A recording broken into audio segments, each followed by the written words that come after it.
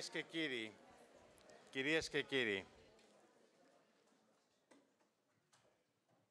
κύριε Πατριαρχικέ εκπρόσωπε, αγαπητέ κύριε Φραγκόπουλε,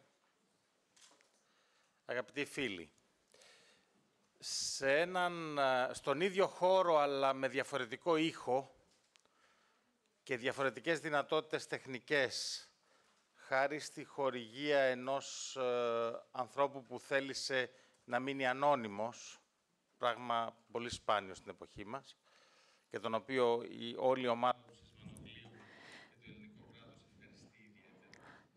Bu Αποφασίσαμε να κάνουμε κάτι και εμείς διαφορετικό, biz de farklı bir şey yapmak istedik. να μιλήσουμε για διαφορετικούς άνθρωπους Farklı insanlar için konuşmak istedik. σε ένα ενιαίο σύνολο, Bir toplam içerisinde bulunan insanlar hakkında. farklı insanlar. Çünkü bu farklılık onları değişik kılmıştır. Çünkü her zaman farklı olduğun zaman otomatikman değişik de oluyorsun.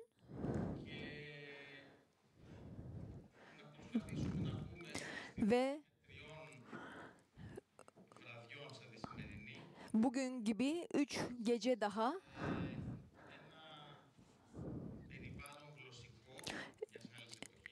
farklı bir zamanın diz, dilsel dünyasına girmeyi amaçlıyoruz. Ee, bunlar işaretlerini bırakmış olan dillerdir ve bize katacağı şeyler çoktur. Özellikle Sayın Balta'ya teşekkür etmek istiyorum. Bizimle olan işbirliğinde dolayı.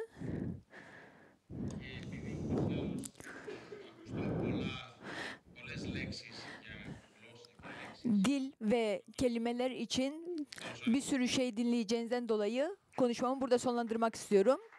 Hepiniz hoş geldiniz.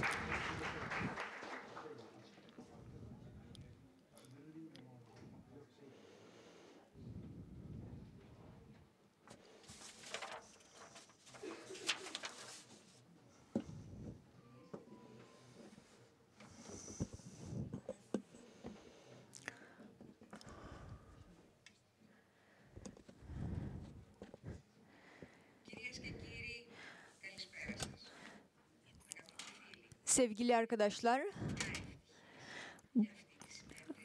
bu akşamki toplantımızdan dolayı çok mutluyum. Bu konferansların ilki olacaktır ve Sizmanoglio Megaron'da devam etmesini diliyorum. Bu akşam bugün Osmanlı İmparatorluğu'nda dilleri ve alfabeleri için bir dizi konferansın açılışını yapıyoruz. Bu konferansların üçü gayrimüslimler için olacaktır.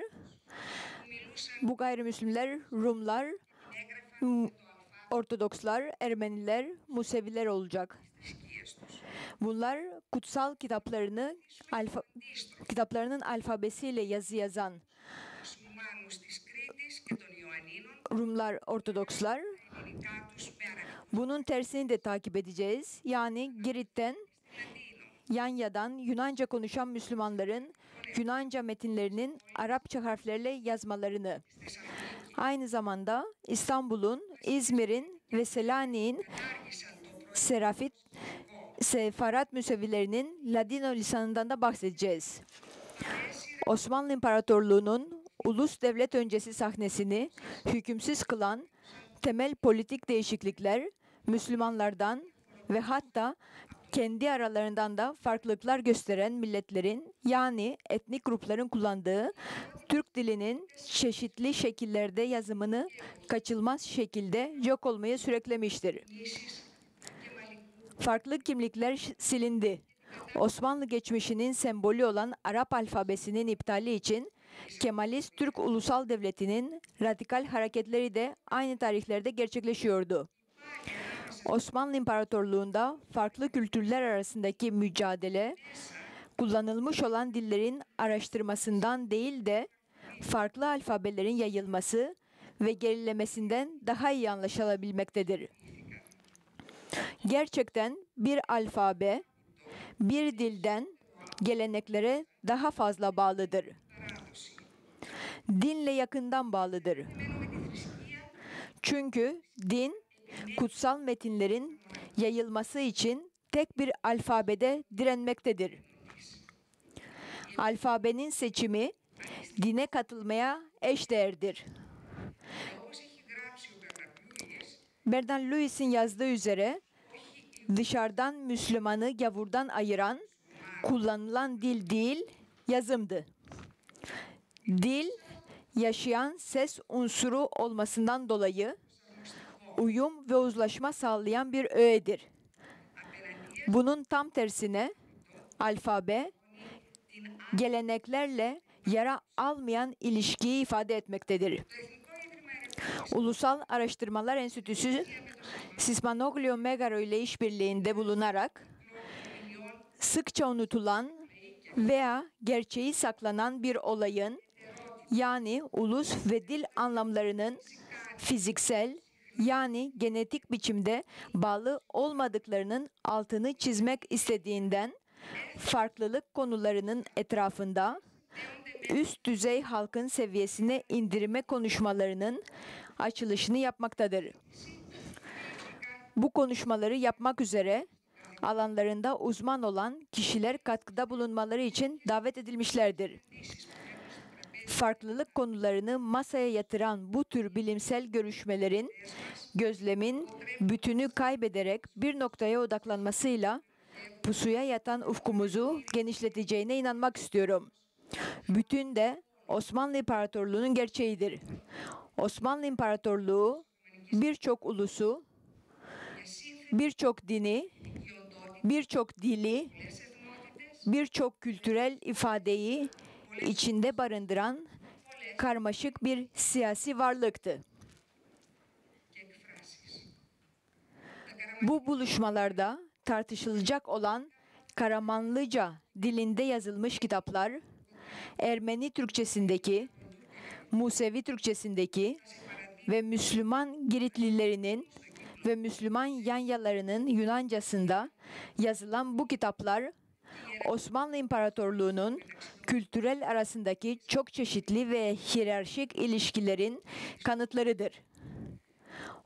Onlar kültürel bağlamlarda ve duyularla bağlanan bir tarihsel rastlantının ürünüdür. Rum Ortodoksların Osmanlı İmparatorluğu'nda yaşamış olan Rum Ortodoksların, Türkçe konuşan Rum Ortodoksların Yunan harflerini kullanarak Türkçe dilini kullanmasını takip edeceğimiz bu konferanslara hoş geldiniz.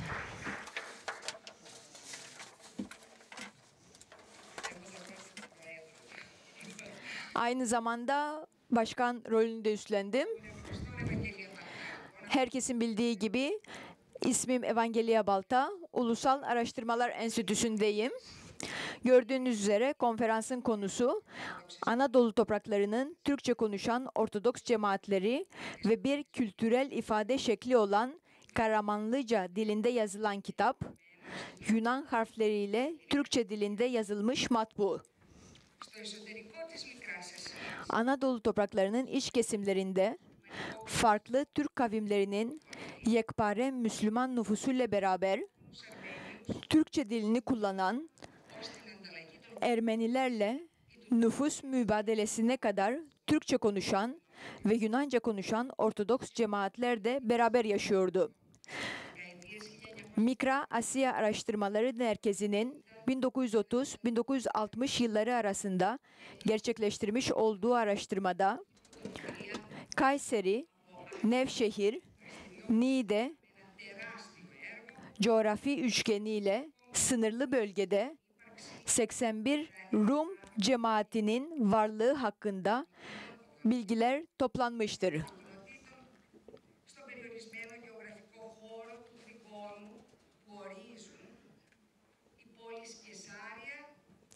Kaysehir, Nevşehir, Niğde coğrafi üçgeni ile sınırlı bölgede 81 Rum cemaatinin varlığı hakkında bilgiler toplanmıştır.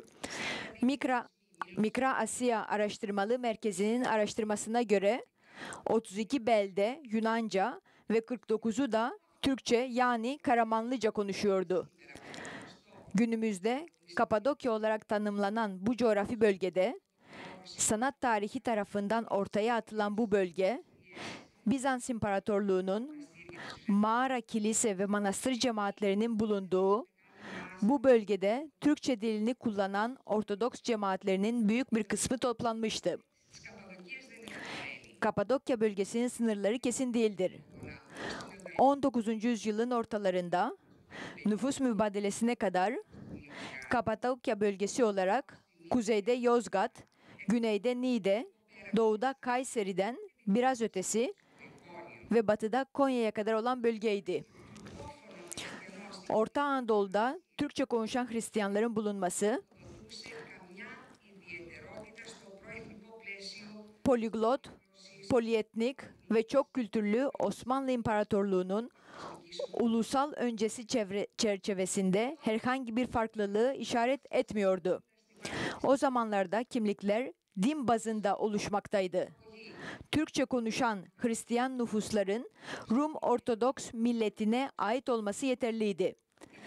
Yunanca dilini kullanan dindaşlarından ve hatta Arnavutça, Slavca, Arapça konuşan diğer Ortodoks nüfuslarından ayıran herhangi bir şey yoktu. Hepsi İstanbul Patrikhanesi'nin çatısı altında yer alıyordu. Ve hepsi Rum Ortodoks olarak anılıyordu. Patrik, Patrik Kirilos olan Konya metropol- metropoliti 1815 yılında yayınlamış olduğu denemesinde Konya baş satraplığın Rum Ortodoks cemaatinin kullanılmış olduğu dile hiçbir önem atletmemektedir. Bu durum 19. yüzyılın ortalarına kadar görüşlerin değişmesine yardımcı olan bir sürü etkinin oluşmasına kadar devam etti. Bunlardan ilki o zamana kadar geçerli olan millet sistemine farklılıklar getiren tanzimattı. Milletler sisteminin geçersiz olmasına 19. yüzyılın sonlarında coğrafi yerleşke arayan Türk ulusu kavramı eşlik etmiştir. Böylece Türkçe dilinin egemen dil olmasından dolayı Türk ulusunun asıl nüfussal alt katmanının Anadolu'da ika- ikamet edenlere Anadolulu kavramı kullanılmaya başlanır. Kemalizm zamanlarında Anadolu'nun Türk halkının ana vatanı olarak Türk resmi doktrini ilan edilmesi tesadüf değildir. Görüşlerin değişmesinde ve dil konusunda hassaslaşmaya neden olan birincil faktör, Balkanlar ve Akdeniz bölgesinde dil ve milliyet ilişkisinde gerçekte yeni kriterler ortaya çıkaran Yunanistan'ın bağımsızlığı olmuştur. Patrikhane bu yeni duruma başa çıkabilecek durumda değildi. Karamanlar ve yayınları hakkında bir sürü probleme değinmen gerekiyor. Konuyla ilgili 19. yüzyılın başlarına dönersek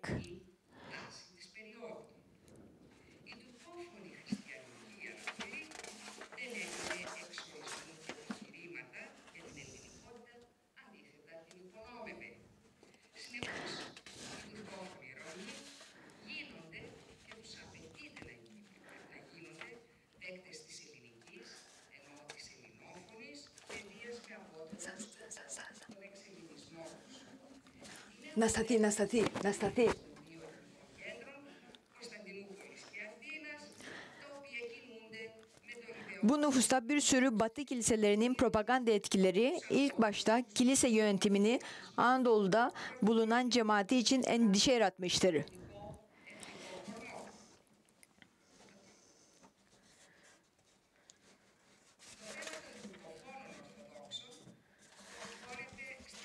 Türkçe dilini kullanan Ortodoksların konusu 20. yüzyılın başlarında Anadolu hem Yunanlılar hem de Türkler tarafından sahip çıkma nesnesi olduğunda doruğa çıkar. Anadolu topraklarında eski uygarlıkların devamlılık ve miras problemi ve bir milletin varlığın tarihsel derinliği konusu ve özellikle Anadolu'da bulunan Türkçe dilini kullanan Ortodokslar gibi şahsına muhasır cemaatlerinin varlığı çok önemli olduğu kanıtlandı. Tarihte milletlerin gerçekleri bulanık, karışmış, çelişkili olduğunda asiliyet hakkında tasavvur efsanesi kutuplaşmaları körükler. Tarihsel metot- metotları ve tarihsel bilim araçlarını kullanmadan keyfi varsayımlar Anadolu'da yaşayan, Türkçe dilini kullanan Ortodoks nüfusun kökeni hakkındaki kaynakçanın kutuplaşmasına doğrudan sebep olmuştur. Yunan teorileri Yunanlıların antik çağlardan süre gelen kesintisiz yapının temelinde kendilerini tanımladıkları fikrine dayanmaktaydı. Neyse ki son yıllarda bu tür tespitlere daha az cevap vermektedirler.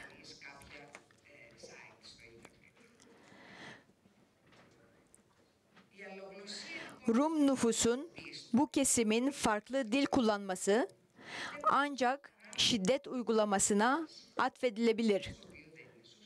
Ki bu çok doğru değildir. Türk teorilerine göre ise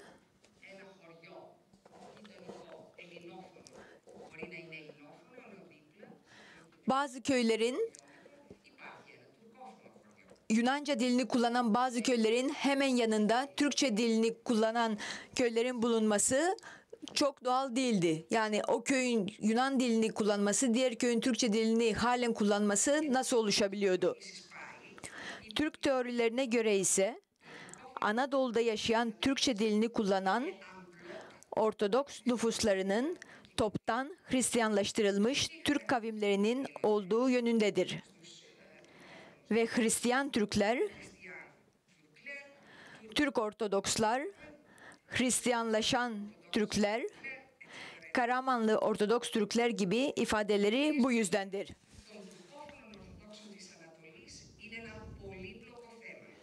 Anadolu'da yaşayan Türk dilini kullananların tarihi karmaşık bir konudur. Ve Bizans İmparatorluğu'nun çöküşüyle bölgede Türk egemenliğinin ortaya çıkmasıyla bağlantılıdır. 13. ve 14. yüzyıla ait çok az kaynakçının bulunması Osmanlı öncesi dönemin araştırılmasına daha da zorlaştırmaktadır.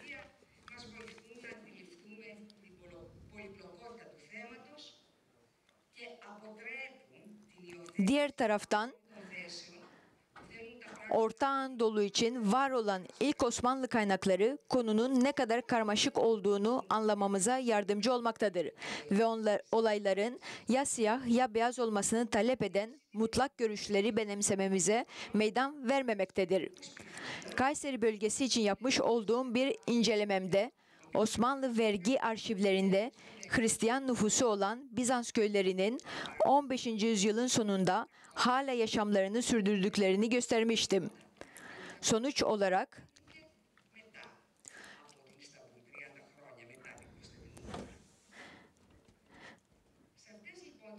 Sonuç olarak Orta Anadolu'daki Hristiyan olan yerel nüfus Bizans İmparatorluğu'nun dağılmasından sonra ve bölge Osmanlılar tarafından elde edilene dek varlıklarını sürdürmüşlerdir.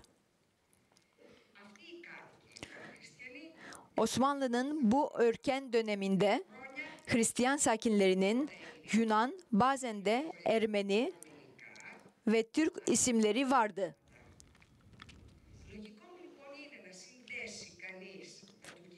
Osmanlı öncesi Belçikler zamanında yerleşmiş olan ve yerel Hristiyanlarla karışmış olan Hristiyanlaştırılmış Türkmen boylarının Türk isimlerle bağdaştırılması mantıklıdır. Aynı köylerde birçok asır sonra 19. yüzyılın sonlarında Hristiyan sakinlerin isim, isim almalarında aynı gelenek devam ediyordu. Bu noktada bu konuya son vermeme izin verin. Çünkü bu kısa sunumumda Türkçe konuşan İstanbullu çevrenin çevreye dair bunun dışında Karamanlıca kitabının yayıldığını görmek mümkündür.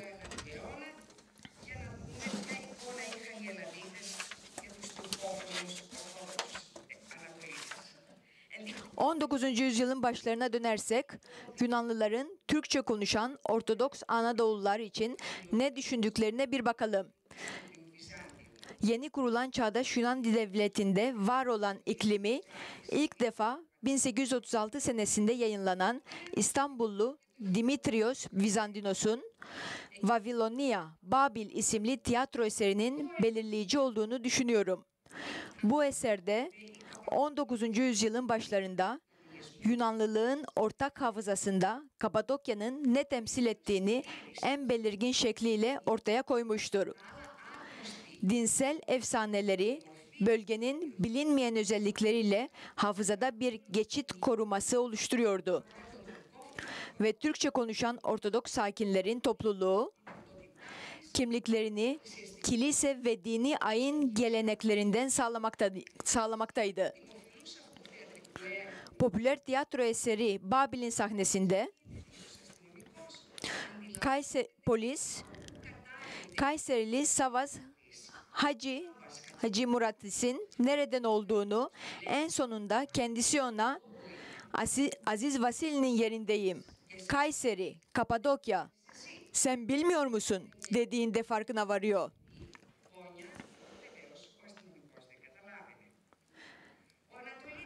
Anadolu, Arnavut'la, Giritli'yle, Kıbrıslıyla, Moralı'yla, Yedialalı'yla, Sakızlı'yla ve Muallim'le 1827 senesinde Nafplio şehrinde karşılaşır ve hep beraber bir lokantada yemek yiyip Navarin Savaşı'nda müttefik kuvvetlerin zaferi için hep beraber eğlenirler.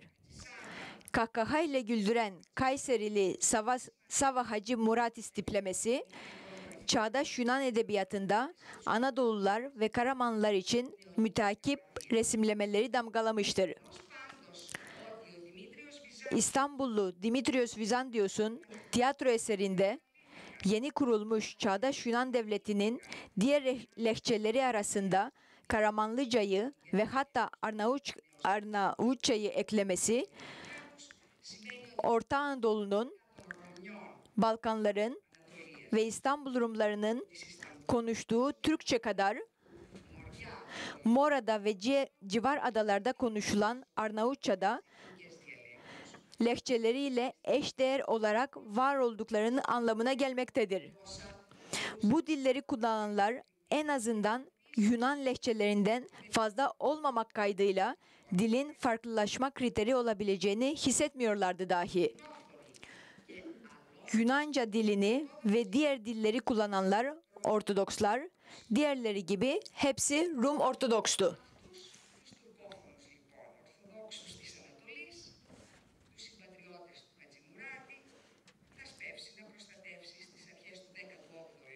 Bu Türkçe konuşan Ortodoksları 18. yüzyılın başlarında İslamlaştırma hareketlerinden ve yaklaşık bir asır sonra protestan- protestanların ve diğer misyonerlerin yönlendirmelerinden patrikhane korumaya çalışacaktır. Bu nüfuslara bir sürü Batı kiliselerinin propaganda etkileri, ilk başta kilise yönetimi Anadolu'da bulunan cemaati için endişe yaratmıştır. Ve devamında Anadolu'nun art bölgelerindeki mali ağlarının birliği ve istikrarı için İstanbul'un burjuva kesimi rahatsız olmuştur. Zacharias Agoritis ve Serafim Pisidios gibi metropolitler ve keşişler, irşatları, ilahileri ve diğer dini kitapları Anadolu'da yaşayan cemaate Hristiyan dinini öğretmek maksadıyla Yunan harfleriyle Türkçe'ye tercüme ettiler ve yayınladılar. Cemaat Yunan dilini unutmuş olduğundan kilisedeki ayini anlamıyordu ve Allah'ın yolundan uzaklaşıyordu. İlk Karamanlıca kitap Hristiyan inancının antolojisi anlamına gelen Apanfizmatis Christianikis Pisteos ve Hristiyan inancının bölümlerinin kaydedilmesinden oluşan Veria Kadısı Ahmet tarafından Patrik Yenadios Holarios adına yazılan kitap, Nafbakto ve Artis Mitropoliti Neofitos Mavromatis tarafından 1718 senesinde yayınlanmıştır. Bu Türkçe dilinde yayınlanan ilk kitaptır. Osmanlıca'da ilk kitap 10 sene sonra yayınlanacaktır. Mora Yarımadalı, Kanelos Panos, 18. yüzyılın ortalarındaki Türk-Yunan gramerini yazarken bu kitap tarihi dört ciltli Mesinia Meninski sözlüğüyle beraber kaynakçasını oluşturmuştur. Anadolu bölgesinin Türkçe konuşan Ortodokslarının ve Osmanlı dünyasıyla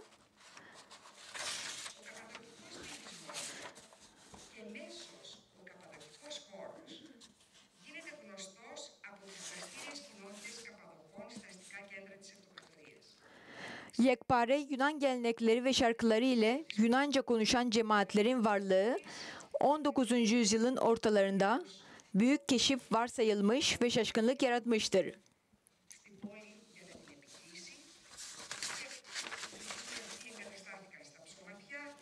İmparatorluğun şehirleşmiş merkezlerinde Kapadokyalıların etkin cemaatlerinden dolayı Kapadokyalı nüfus ve da- dolaylı olarak Kapadokya bölgesi tar- tanınmaya başlar. İstanbul'un fethinden hemen sonra Karamanlılar Fatih Sultan Mehmet tarafından Samatya, Yedikule, Langa ve Kumkapı'ya taşınmışlardır.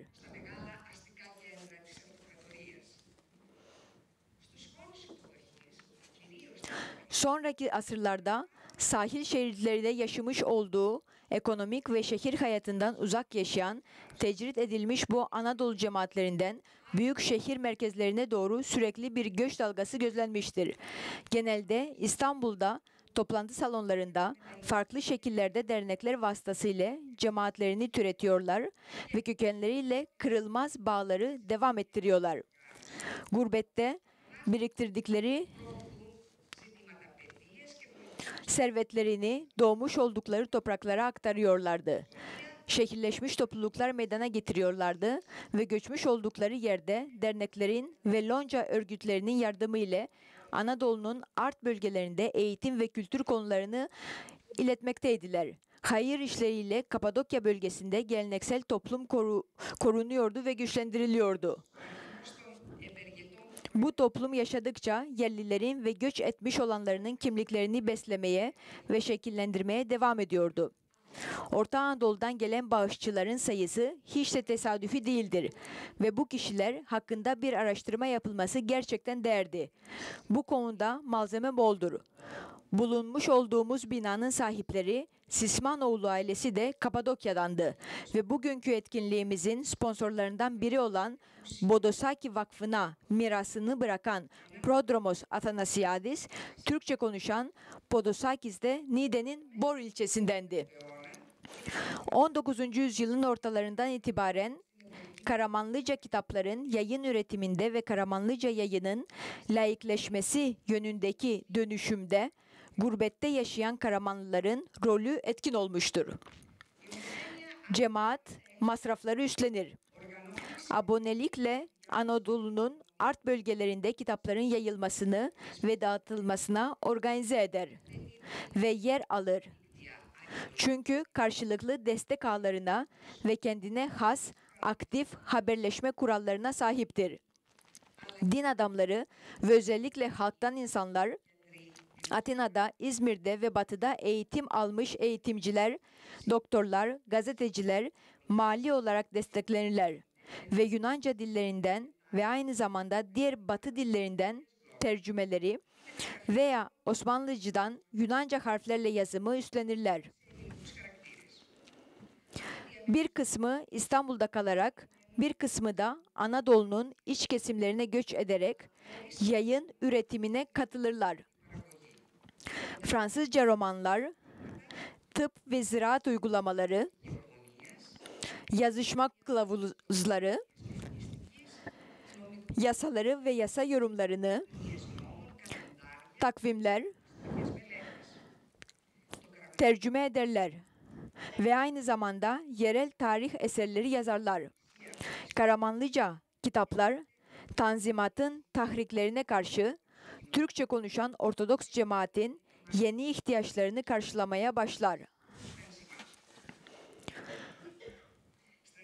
Bu uğraşa katılan din adamları patrikhane etrafında ve bu uğraşa katılan halktan kişiler Anadolu'daki Ortodoksların aydınlanması mücadelesine üstlenirler.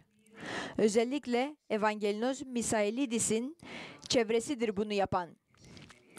Misailidis en uzun dönem yayında kalan Karamanlıca gazetesi Anatoli'nin yayıncısıdır ve biraz sonra Sayın Şehnaz Şişmanoğlu bize kendisinden bahsedecektir.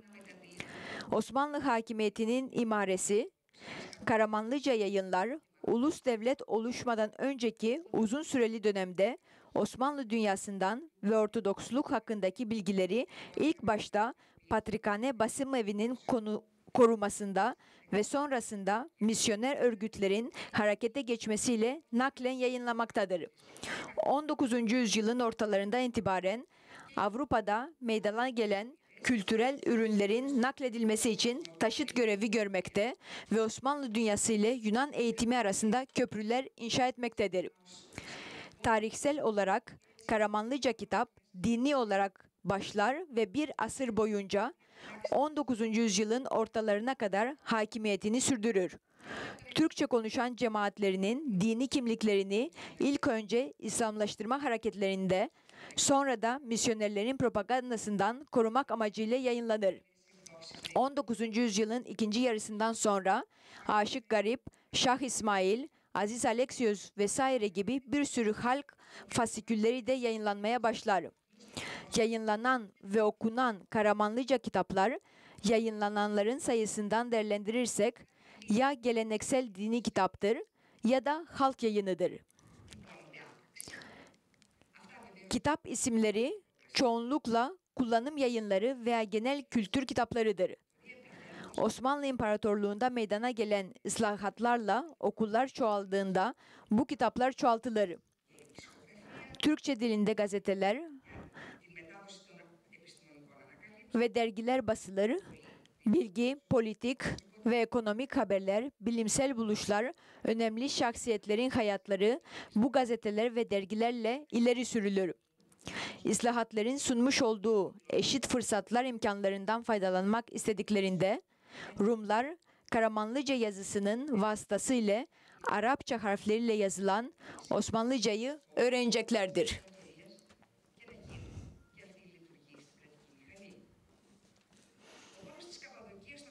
19. yüzyılda ve 20. yüzyılın başında Kapadokya bölgesi dilin değer boyutunu belirleyen dilin ve milliyetçiliğin nasıl yayıldığını incelemek için çok uygun bir yerdir.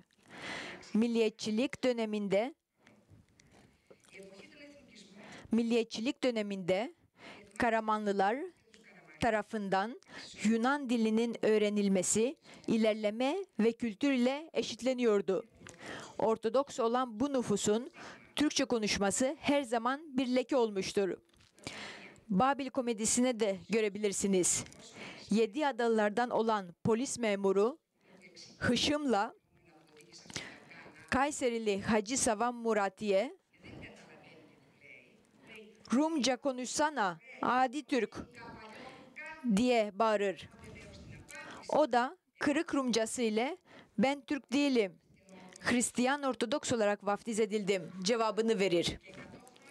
Fakat 100 sene sonra da mübadiller Rum Ortodoks olarak Yunanistan'a vardıklarında Yunanlılar onlara uzun seneler boyunca onları aşağılamak istediklerinde oğlular Anadolu Rumu ve Türk tohumu demişlerdir.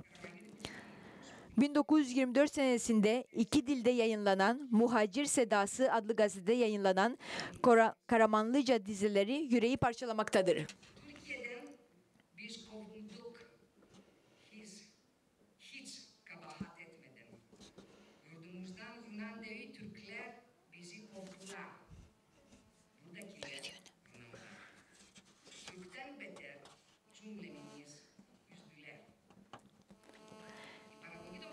Kahramanlıca kitapların üretimi 1925 yılında nüfus mübadelesiyle son bulmuştur. Kuzey Yunanistan'a yerleşen bazı mültecilerin ilk 3 Aralıklı yayını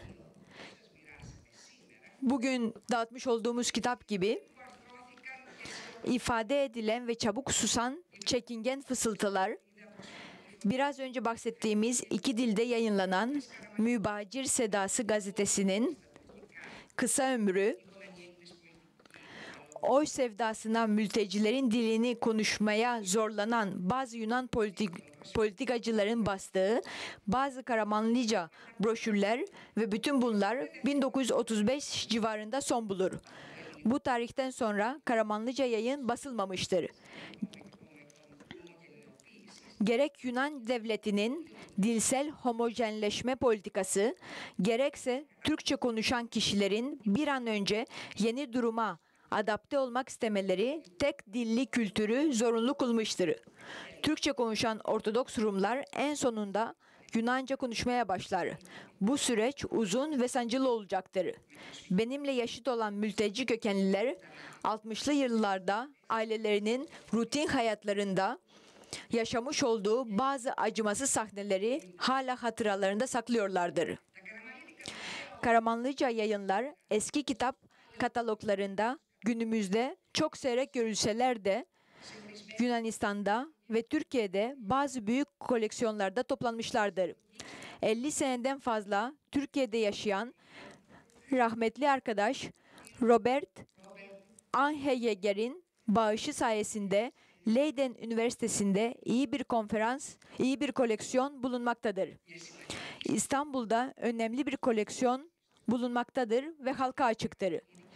Bu koleksiyon rahmetli peder Sakulidi'ye aitti ve günümüzde bu koleksiyon kütüphanesinde bulunan diğer değerli kitaplarla beraber Sismanoglio'da bulunmaktadır. Değerli Karamanlıca Sakulidis koleksiyonunu Sayın Ahladi bize sunacaktır. Sayın arkadaşlarım, konferans anneannem Elisabeth mülteci mahallelerinde bayan hem, hemşerileri olarak Lisavet derlerdi. Dede, Dedemin babasının adı Murat'tı. Babasının adı ailenin soyadı olmuştu.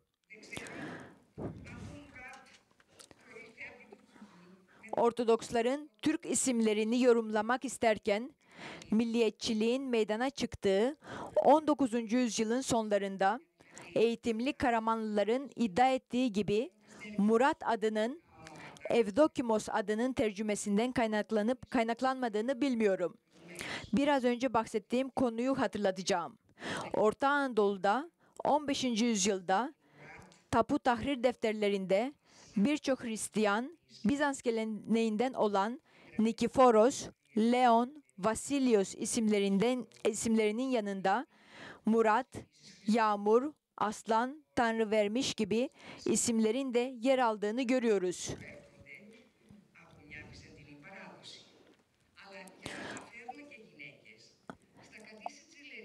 ...18. ve 19. yüzyıllarda Orta Anadolu'da kadı sicillerinde bayan ismi olarak Hristiyan kadınların Sultan, Nazlı, Hatun, Mercan vesaire gibi isimler aldıklarını görüyoruz.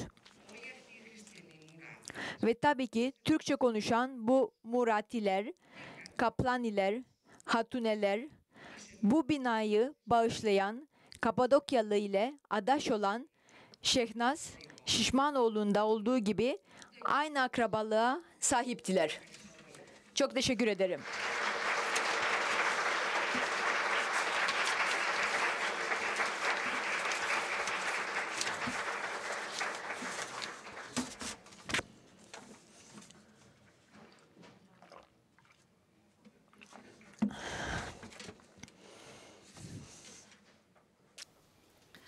Merhabalar. Ee, evet, Eve Hoca'nın da konuşmasını sonlandırdığı üzere ee, ben maalesef burada Kapadokyalı meşhur Şişmanoğlu ailesinin kayıp torunu olarak burada değilim. Ee, biraz aile bağlarını zorluyorum bir şey çıkartır mıyız diye ama pek çıkmıyor. Biz Karadenizli bir Şişmanoğlu koluyuz. Ama ben devam edeceğim çalışmalara. Böyle gelecek nesillere hayali bir e, bağ e, oluşturmayı düşünüyorum bu kadar milliyetçilikle, hayali cemaatlerle uğraşırken. Neden olmasın? Bir de aslında Şişmanoğlu soyadından küçükken biraz da utanırdım. İlkokulda e, bilirsiniz. Hani çok da e, zayıf bir çocuk değildim. o yüzden alay ederlerdi ama şimdi Karamanlıca çalışmalarına başladıktan sonra bu soyaddan e, gurur duymaya başladım tuhaf bir şekilde. Ee, ve kader beni herhalde bir şekilde o Şişmanoğlu ailesiyle birleştiriyor diye düşünüyorum.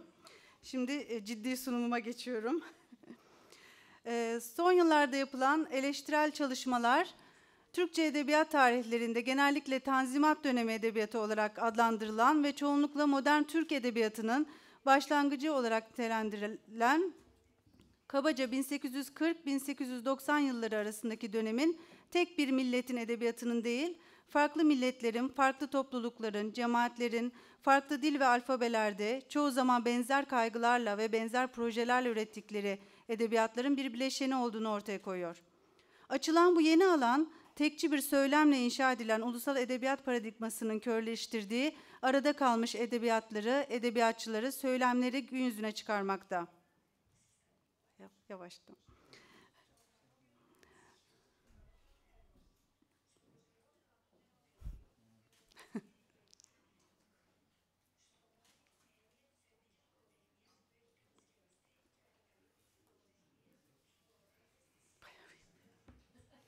Bayağı bir uçmuş. ee, Eva Hoca'nın sözünü ettiği Karamanlıca yayınlar 19. yüzyıl Osmanlı edebiyatının ya da edebiyatlarının çok önemli bir ayağını oluşturuyor. Aslında Karamanlıcayı çok dinli, çok dilli, çok etnili 19. yüzyıl Osmanlı İmparatorluğu'nda tek başına izole bir örnek olarak da düşünmemek gerekir. Ee, Eva Hoca biraz önce yine bahsetmişti. Ee, Karamanlıca Ermeni harfli Türkçe, e, İbrani harfli Türkçe, Ladino, Giritlilerin kullandığı ve El Cemiyade olarak adlandırılan Arap harfli Yunanca, e, özellikle İzmir'de ve bazı Ege adalarında kullanılan Katolik cemaatinin Frangohiotika yani Latin harfli Yunancası ve elbette Osmanlı'nın Kürtçe, Arapça ve başka diller konuşan Müslüman toplulukları ile birlikte bu dilsel potpörünün vazgeçilmez yapı taşlarından biriydi. Ee, Biraz öncekiler Sabri Koz arşivinden. ee, Johann Strauss'un Osmanlı'da kim neler okuyordu başlıklı makalesi özellikle 19. yüzyılda bu kültürlerin nedenle etkileşim halinde olduklarını, imparatorluk bünyesinde ayrı diller konuşan milletlerin belli ölçülerde ortak bir edebi kültürü paylaştıklarını ve çeviri ve edebiyat bağlamında diller arası alışverişlerin yer aldığını gösteriyor bize.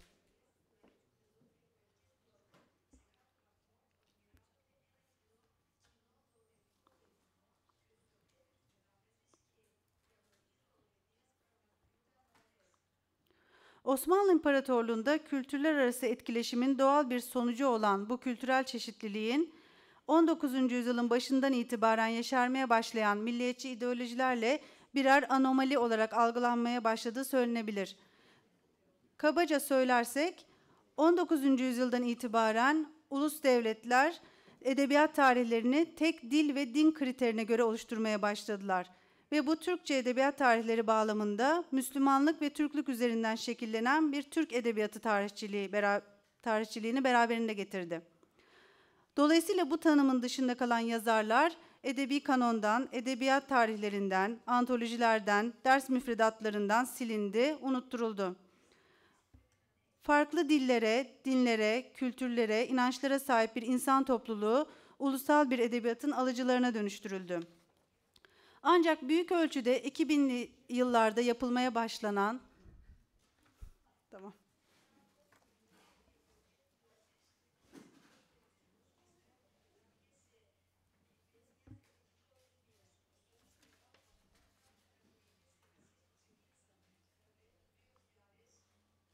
Ancak büyük ölçüde 2000'li yıllarda yapılmaya başlanan bazı akademik çalışmalarla ve Türkiye'deki pek çok başka gelişmeyle birlikte artık cin şişeden çıktı. Ve bu sözünü ettiğim Osmanlı Edebiyatı'nın çok kültürlü yapısını oluşturan ve bugüne kadar edebiyat kanonunun dışında kalmış Müslüman ya da gayrimüslim yazarlarla ilgili çalışmalar artmaya başladı. Söz konusu çalışmalar edebiyat tarihine milliyetçi bakış açısını aşarak bazı kavşaklar, eşikler üzerinden bakmayı öneriyor bir anlamda. Böyle bakıldığında ulus devletlerin çizdiği sınırlar gevşiyor ve kültürel ağlar, devamlılıklar, iç içe geçmeler, farklı öznellikler, melez kimlikler görünür olmaya başlıyor.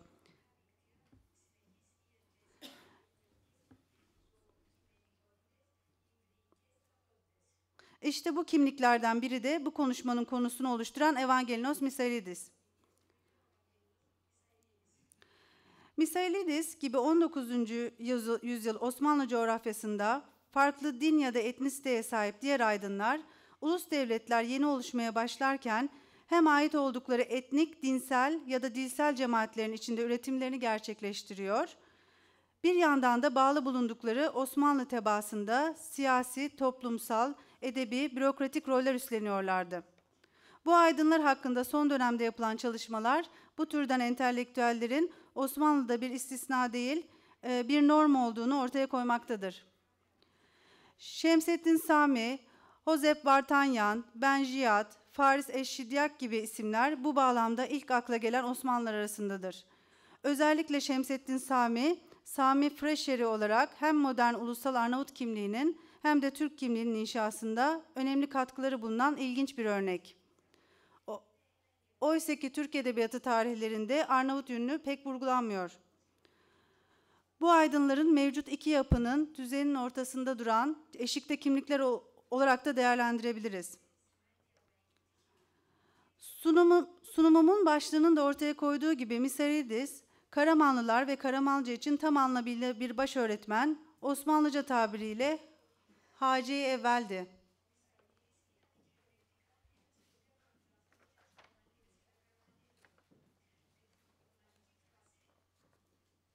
Hacı Evvel aslında 19. yüzyıl Osmanlısında akla, akla gelebilecek hemen her konuda ve türde eser üretmiş olan Ahmet Mithat'ı niteleyen bir sıfattı. Misailidis de tıpkı Ahmet Mithat gibi yazar, çevirmen, yayıncı, gazeteci ve öğretmendi. Yani tam bir 19. yüzyıl aydınıydı. Dini eserlerden görgü kitaplarına, düsturdan sözlüklere, Fransızca roman çevirilerinden kanunnamelere, birçok türde ve konudaki eserleriyle çağdaşı olan birçok Osmanlı aydını gibi pek çok konuda söyleyecek sözü vardı. Bu çevirdiği Karamanlıca, e, çoğunlukla Fransızcadan çevirdiği e, eserler, eserlerin kapakları.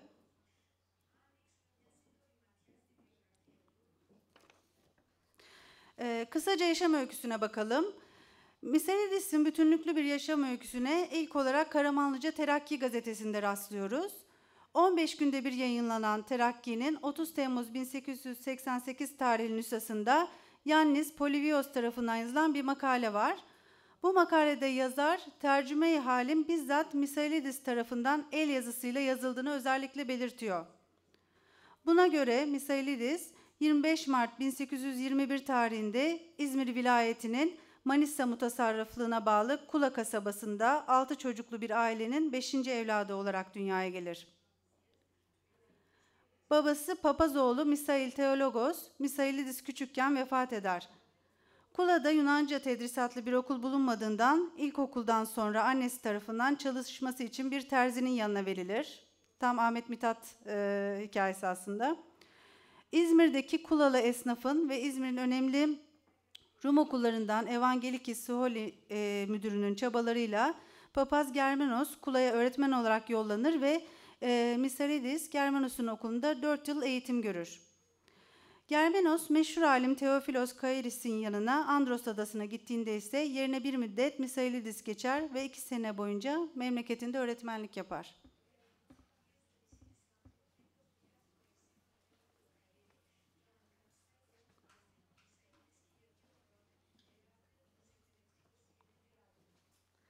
Tahsiline Yunan Krallığı'nın ilk üniversitesi olan Atina Üniversitesi'nde devam eder. Ancak ilk senenin ardından buradan ayrılır. Dönüşte Isparta'ya öğretmen olarak gider ve burada 4 sene kalır. 1843'te ise İzmir'e yerleşir ve uzun gazetecilik kariyerinin başlangıcı olarak Anadolu'nun en eski Rumca gazetesi olan Amalthea'da çalışmaya başlar. Misailidis'in öğretmenliği bırakıp gazeteciliğe ve bunun yanı sıra matbaacılığa başlaması meslek hayatında önemli bir dönüm noktasıdır. Çünkü öğretmenlik yaparak kısmen yerine getirdiğine inandığı aydınlatma görevini gazete ve matbaacılıkla daha geniş kitlelere ulaştıracağını düşünmektedir.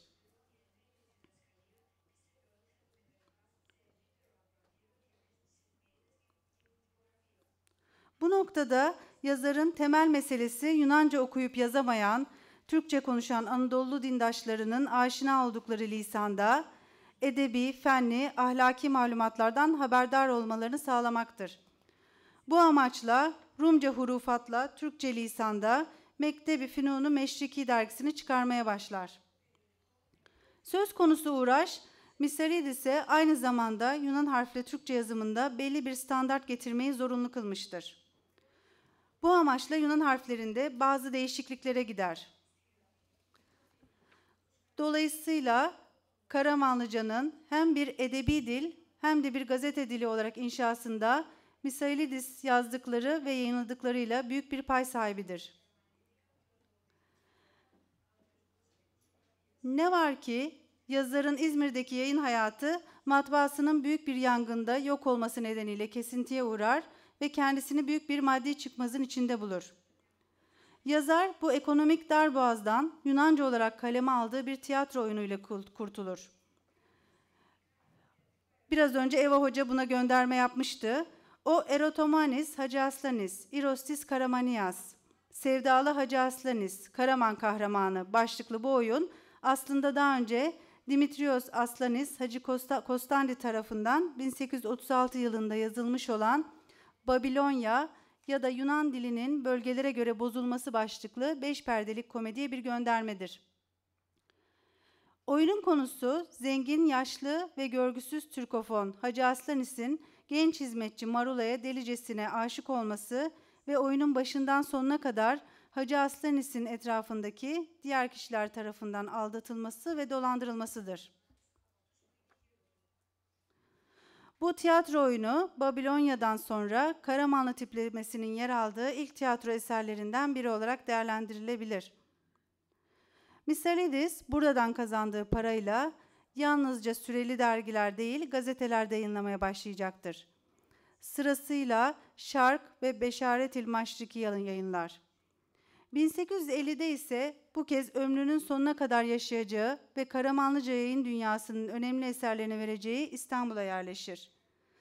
Ee, Anatoli gazetesindeki bir e, ilandan e, Misalidis'in evinin Fener'de Kebir Mektep sokağının yakınlarında olduğunu öğreniyoruz. Burada bir emlak e, reklamı var. E, ilk olarak Finonu Şarkiye Risale-i Havadis adlı gazeteyi çıkarır. Bu gazete 1851 yılında Osmanlı basın tarihinin en uzun ömürlü gazetelerinden biri olan Anatoli'ye dönüşür. Ee, yazar ölünceye kadar gazetenin başında kalır. Sonra yerine oğlu Teologos Misalidis alır. Ee, Eva Hoca gazetenin 1923'e kadar dolaşımda olduğunu belirtiyor bir yazısında. Ee, burada da bir, bir not düşmek istiyorum aslında. Maalesef bugün basın müzesinde e, birçok basına emeği geçmiş yazarların, gazetecilerin yanında Misalidis'in portresini görmemek çok üzücü. Ee, yani Theodor Kasap var, mesela Hrant Dink var, hani gayrimüslim olarak ama e, yani umarım yakında Misalidis'te birileri duyup belki koya yerleştirir. E, gazete Yunanca bilmeyen ve Yunanca gazeteleri okuyamayan Anadolu Türkçe konuşan Hristiyanların kendilerini ifade edecekleri bir platform olmakla kalmaz. Gazetede yer alan çeşitli yazılar, Anadolu'ya dair e, yazı dizileri, Anatoli matbaasına basılan kitaplar ve her sayıda yer alan tefrika romanlarla tam anlamıyla Misellis'in aydınlanma projesinin somut bir işareti olur. Anatoli'de açık ve sade Türkçe olarak ifade edilen bir dil politikası benimsenir. Ee, bu dil Karamanlı okuyucunun zorlanmadan anlayabileceği Arapça ve Farsça tamlamalardan mümkün mertebe uzak bir gazete dilidir. Burada bir okur mektubu var.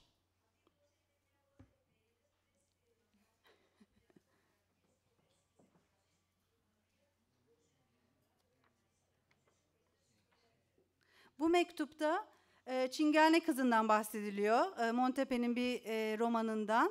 E, ve burada açık Türkçe lisanında yazıldı, yazıldığından okudukça şive ifadesi bize tesir ediyor diyerek e, övgüler dizilir. Böyle başka mektuplar da e, bulmak mümkün Anatoli'de.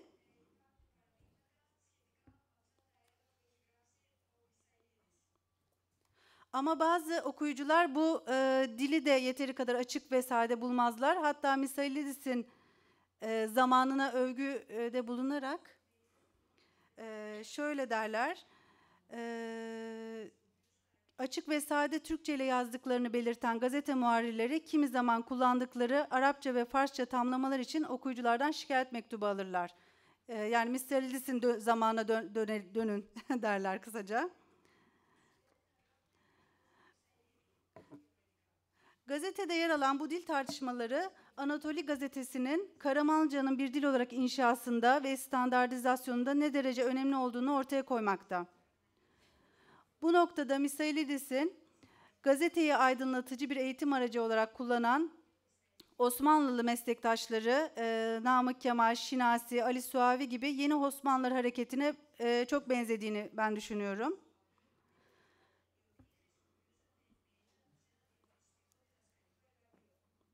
Dilin sadeliği ve anlaşılır- anlaşılırlığı Anatoli gazetesinin bir başka önemli işlevini de öne çıkarmaktaydı. Karamanlı okur, çoğu Fransızcadan çeviri olan romanlarla ilk kez bu gazete sayesinde haberdar oluyordu. Ee, çoğu Anadolu okur için bu karşılaşma hem yeni bir türle hem de yeni bir medeniyetle tanışmanın önemli bir aracı olarak kabul edilebilir. Çoğunlukla Misailidis tarafından çevrilen batılı romanlar Anatoli matbaasında basılmadan önce ilk kez gazete sayfalarında tefrika ediliyor. Sonrasında basılan kitapların reklamları ise yine bu gazetede yayınlanıyordu. Örneğin Paris Sırları dönemin çok meşhur bir romanı. Yine Serseri Yahudi, Öjen Süden bu da. Ee, ve Ahmet Mithat'ın bir e, yeniden yazımı ya da adaptasyonu diyebiliriz. Ee, Anatoli'nin yayınladığı yıllar boyunca en önemli meselelerin ise ekonomik sıkıntılar olduğu söylenebilir. Gazete abonelerinden gazete bedelini alabilmek için çeşitli yollara başvurur. Hatta onları kimi zaman rencide edici sözler söyler. Otlakçı der mesela. Ee, lütfen kendi gazetenizi alın, arkadaşınızın gazetesini okumayın der. Otlakçı olmayın der. Ee, Anatoli o kadar önemli ki e, onunla ilgili yazılan e, ve şey e, gazete bedelini göndermeyen müşterilerin isimlerini de basıyorlar. Mesela şimdi ben Apo'ya Matini'yi göndermedim. İsmimi görebilirim. Anatoli için bir şiir e, de yazılmış. Hem şehri Nevcivanlardan Rifatlü e, P. Karakoç yazmış. Son dizeleri okumak istiyorum. Ahvali aleme agah olmayı istersen dostum, şimdi yevmiye çıkmakta olan Anatoli gazetesi al. Yani Anatoli Anatoli günlük çıkmaya başlayınca böyle bir çok duygulanarak okuyucu böyle bir şiir yazmış. Ee, Misalidis'in kurduğu Anatoli matbaası ile Karamanlıca dini kitap üretiminde de çok önemli bir isim olduğunu e, söylemiştik. Bu noktada yine bir şiir daha var. Ee, bu Hazine-i Aray Müstekime-i Mesiye adlı kitabın ön sözünde Rindi mahlası ile İkonomidis Vasil Efendi Misalidis'e hitaben yazmış. Ee, bunun da ilk dizesi Sezadır tahsine Evangelinos Misalidis ki Anatol halkını ha bu cehaletten bidar etti diyor. Yani layıktır övgüye Misalidis Anatolu halkını cehalet uykusundan uyandırdı. Ve son beyit çok ilginç. Ayandır gün gibi rindi, lisan başka, huruf başka. Anın çün tarhı tarihten kalem sert itizar etti. Yani e, dili başka, harfleri başka e, Karamanlıca'ya gönderme yaparak E, Herhalde çok okumalara açık, çok farklı yorum yapılabilir bu konuda. Ne demek istediğine dair. Ee, e, Misalidis 3 Ocak 1890 tarihinde ölümünün ardından büyük bir törenle Eğri Kapı Rum mezarlığına defnedilir. Ölümü üzerine başta Anatoli gazetesi olmak üzere Osmanlı basınında çıkan yazılar onun Osmanlı basını ve entelektüelleri tarafından nedenle önemsendiğini ortaya koymaktadır. Sabah ve Tercüman Hakikat gazetelerinde e, yine ölüm üzerine yazılar yayınlanır.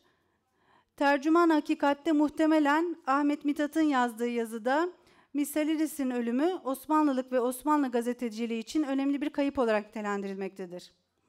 Ee, maalesef bugün Misalidis'in mezarını Eğri Kapı e, mezarlığında bulamıyoruz. Hani mezarlığın durumu da çok içler acısı durumda aslında. Yani belli bir dönümü, e, bölümü herhalde yol yapım çalışmalarına gitti diye ben tahmin ediyorum. Aslında çok görkemli bir anıt mezar yapılmış ama maalesef göremiyoruz şimdi.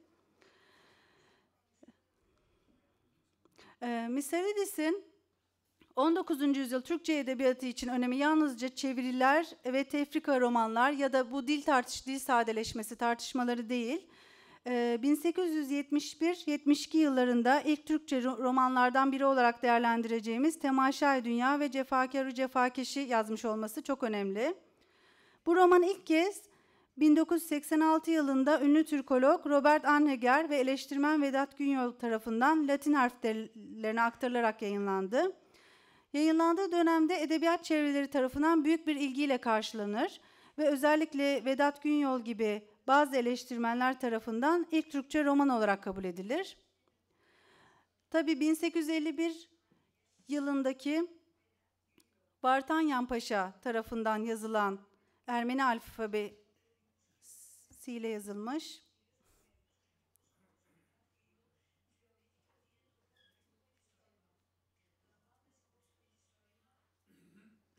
Ee, Akabi hikayesi düşünüldüğünde bu argüman çok geçerli değil. Yani e, en erken Akabi hikayesini biliyoruz. Yani şu ana kadar bildiğimiz. Bu romanın ilk olmadığına dair e, yaşanan hayal kırıklığına kısa sürede başka bir hayal kırıklığı ekleniyor.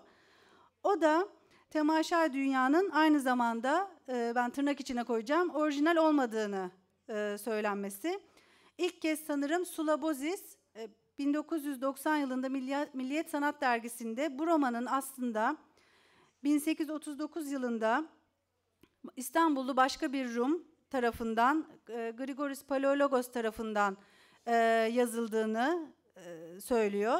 E, Paleologos hem Tanzimat sonrası Osmanlı yönetiminde hem de Yunan Krallığı'nda Kapodistrias yönetiminde hizmetleri bulunan bir aydın. Romanda o Polipatis.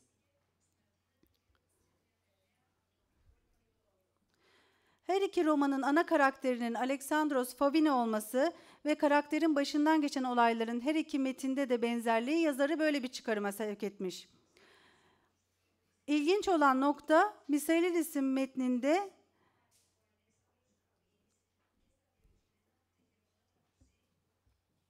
e, ne Paleologos'un isminden ne de romanın isminden bahis yok. Ancak bu romanı yalnızca bir çeviri ya da adaptasyon olarak, olarak değerlendiren ya da yeterince orijinal bulmayan görüş de bence epeyce sorunlu ve üzerinde düşünülmesi gerekir. Ee, öncelikle Osmanlı ile Yunan devletleri arasında 1821 Yunan bağımsızlığı sonrası yaşanan gerilimli ilişki ve romanın içeriğindeki Yunan krallığına övücü bazı ayrıntılar göz önünde bulundurulduğunda bu durum anlaşılabilir. Bu bir neden olabilir. Ayrıca 19. yüzyılda yazılmış ilk Türkçe romanların geneli için zaten yeterince orijinal olmadığı görüşü de var. Bu da zaten tartışmalı. Bir son neden e, Temaşay Dünya yazarının Polipatis'e ve yazarına gönderme yapmamasının diğer nedeni ise romanın çeviri ya da başlı başına adaptasyon tanımlamasını aşan bir yapısı olması.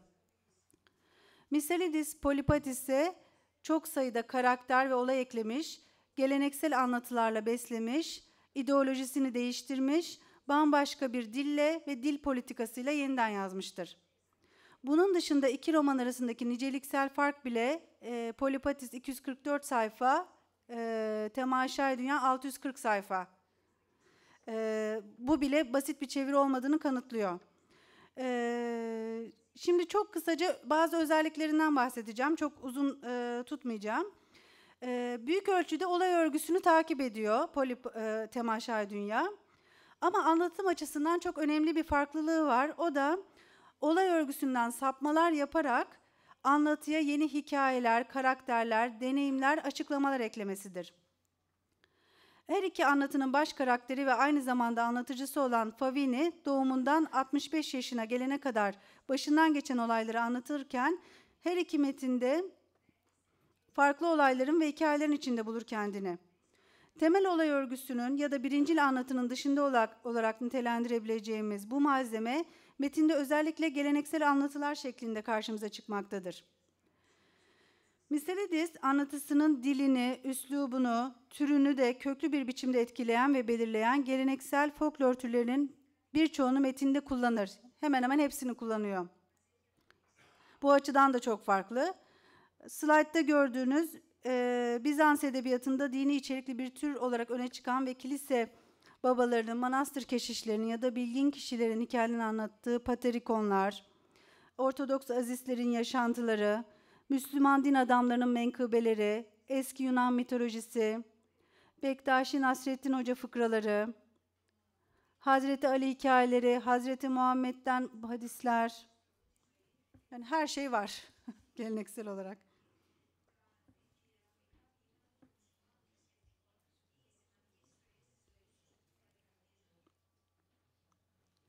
Tam anlamıyla bir folklor hazinesi.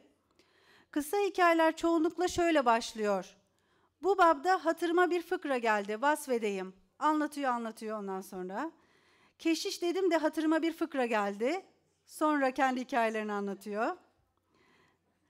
E, Ben 650'ye yakın deyim ve atatözü tespit ettim. Bazıları burada, bazılarını hiç duymadığımız ya da unutulan.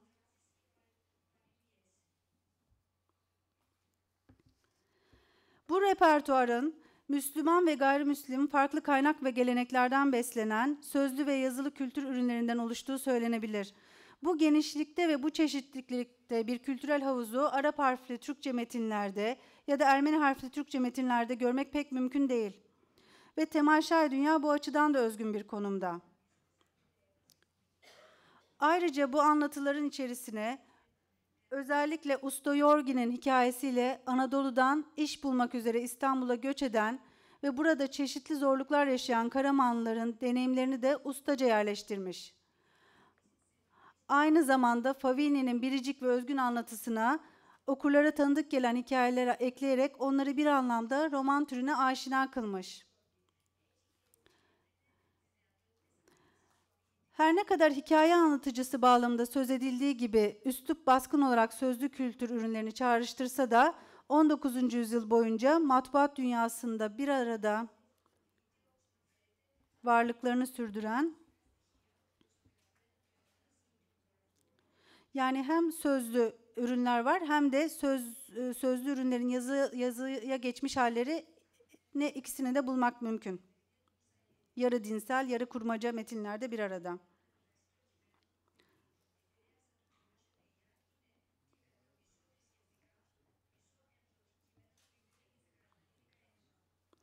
Bu anlatılarla aslında çok ilginç e, işler, işlevlere, işlevlerde de kullanıyor Misalides.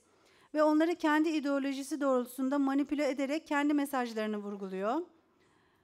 E, burada çok ayrıntısına giremeyeceğim fakat örneğin kamuflaj olarak kullandığını düşünüyorum geleneksel anlatıların bir kısmını. O da e, anlatı içerisinde birbirinden kopukmuş gibi duran e, karakterleri ve hikayeleri 1822'de Osmanlı tarafından kanlı bir biçimde bastırılan Sakız Adası olaylarına bağla, bağlamış. Yazarın karmaşıkmış gibi görünen bütün bu ilişkiler ağının arkasına güçlü bir toplumsal, tarihsel muhalefeti gizlediğini e, açık ediyor ve bu dönem için çok önemli. Yani sansürden kaçabilmesi mesela, hani bir yorum olarak. Ee, aynı şekilde anlatılarla ilgili değil ama Yeniçeriler çok geçiyor ve anakronik bir şekilde bilerek anakronizm yapıyor. Yani zaman dışılık var metinde. Bu da yine bütün kötü adamlar Yeniçeriler. Dolayısıyla e, bütün aslında Tanzimat öncesi ve sonrası eleştirileri onlar üzerinden veriyor.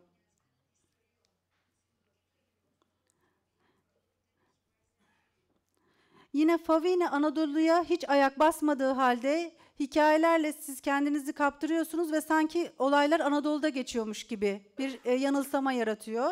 Bu da çok ustaca işlenmiş bir durum ve olay örgüsünden sapmadan polipatisli aynı kalarak ama hem aynı hem değil böyle bir yanılsama yaratıyor. Ve romanın sonunda Miselidis'in karakterinin Polipatis'ten farklı olarak Atina'da değil İstanbul'da kalmayı yani İstanbul'da yaşamayı seçtiğini de vurgulamak gerekir. Yani sonuna kadar bir Osmanlı olarak kalıyor aslında Miselidis bu anlamda ve karakteri açısından. Ve sonuç olarak Temaşay Dünya'nın 19. yüzyılda yazılmış diğer ilk Türkçe kurmaca örneklerine benzeyen noktaları olmakla birlikte bu özelliklerin çok ötesine geçen yeni anlatım olanakları ve teknikleri kullandığı görülmektedir. 19. yüzyılın ikinci yarısından itibaren Osmanlı coğrafyasında ilk örnekleri verilmeye başlanan roman türü için yaratıcı yollar deneyen Miselidis'in bu çabasının her anlamda temaşa dünyayı her anlamda özgün bir romana yaklaştırmaktadır. Özellikle Rus eleştirmen e, Mihail Bahti'nin romanı çeşitli türlerin bir arada var olduğu, söylemsel çeşitliliğin ve çok sesliliğin hakim olduğu bir tür olarak tanımladığı düşünülürse tam anlamıyla e, Bahtiyen bir roman olduğu ve artık Türkçe edebiyatta Miselidis'in ve Temaşa Dünya'nın hak ettiği yeri alması gerektiğini e, belirtilmelidir. Teşekkürler.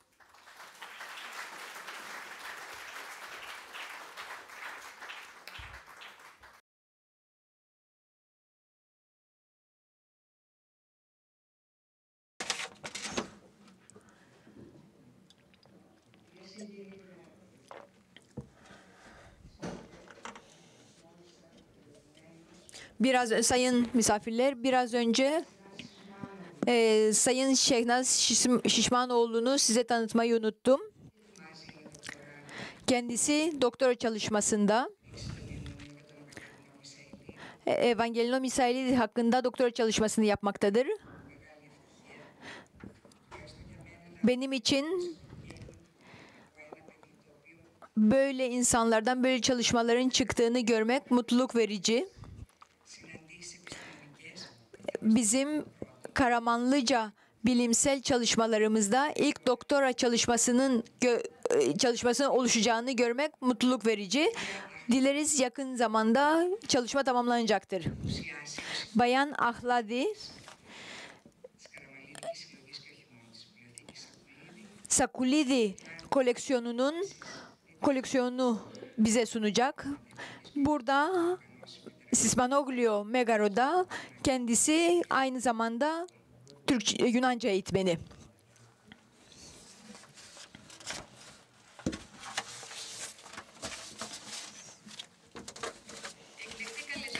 Seçkin davetliler, sevgili arkadaşlar. Sunumum direkt olarak Karamanlıca yazısının araştırılmasıyla değil, daha çok bu araştırmanın ön koşullarıyla alakalıdır. Çoğu zaman bir araştırmacılar malzememizin ne kadar zor saptadığımızı veya ulaştığımızı konusunda ve aynı zamanda resmi kurumların bu malzemeyi korumak ve herkesin ulaşabileceği duruma getirmek konusunda göstermiş oldukları ilgisizlikten şikayet ederiz. Karamanlıca'da böyle bir ihtimalin durumudur. Bunun dışında kalan övgüye değer az sayıdaki istisnalar daha çok resmi kurumlar tarafından değil, özel koleksiyoncular tarafından koru- korunmuştur. Rahmetli peder Meletio Sakulidi için Böyle bir koleksiyon da Sayın Rahmetli Peder Meletio Sakulidi içindi.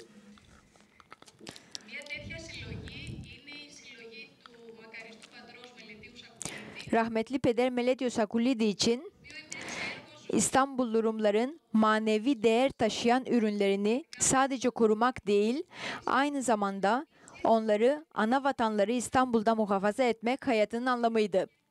Böyle bir gayret ve özveriyle toplanan bu koleksiyonun İstanbul'da kalması ve resmi bir kurum olan Yunanistan'ın İstanbul Başkonsolosluğu'nda açıldığı 2003 tarihinden bugüne kadar Yunanistan'ın İstanbul'daki kültür merkezi olarak ortaya çıkan Sismanoglio Megaro'da misafir edilmesi hoş bir hoş bir tesadüftür. Bu mekanda ve büyük ölçüde gönüllüler tarafından iddialı bir dijitalleştirme programı vasıtasıyla koleksiyon günümüzde araştırmacılara ve aynı zamanda ilgili olan herkese açıktır. Karamanlıca için yakın zamanda düzenlenen uluslararası bir konferansta iki araştırmacı yer almıştır. Bu araştırmacılar malzemelerine Sakulidi koleksiyonu vasıtasıyla ulaşabilmişlerdi ve aynı zamanda Sismanoglio Megaro'da Yunan dili dersleri programına katılmışlardı. Bu durum Sismanoglio Megaro'nun sadece kültür merkezi olarak değil, aynı zamanda araştırma merkezi olarak da gelecek vaat ettiğinin bir göstergesidir. Başlıkta görüldüğü gibi konuşmamda Sakulidi koleksiyonunda sadece bir kısma Karamanlıca yayınları üzerinde duracağım. İlk önce Peder Meletios'un ve aktivitelerini sürdürdüğü yeri sizlere tanıtmaya çalışacağım. Rahmetli peder Meletios Akulidis 1926 senesinde Kadıköy'de Dimitrios ve Anastasia'dan doğmuştur. Orta öğrenimini Kırmızı Tuğlalı olarak bilinen okuldan sonra Heybeliada'da Ruhban Okulu'ndan 1949 senesinde mezun olmuştur. 1950 senesinde Samatya'daki Aziz Konstantin Eleni Kilisesi'nde din adamı olmuştur. 1953-68 seneleri arasında Beyoğlu cemaatinde görev almıştır. 1968'den sonra Kumkapı cemaatinin dini lideri olarak atanmış, devamında da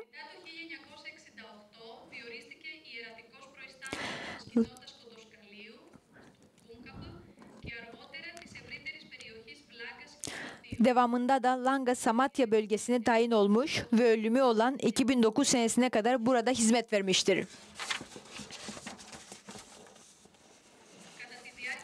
Din adamlığı kariyeri boyunca Patrikhane'nin bir sürü kurulunda üye olarak görev almıştır.